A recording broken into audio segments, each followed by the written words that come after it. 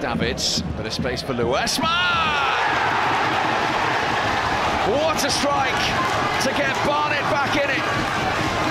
There was no stopping that one from the Spaniard.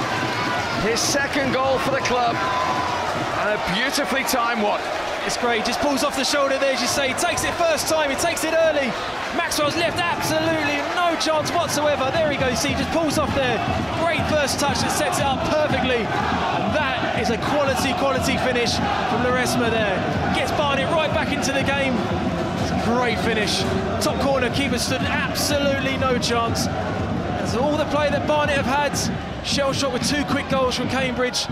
Maybe that's given them a bit of confidence to get back into it. 2-1 now going into half time.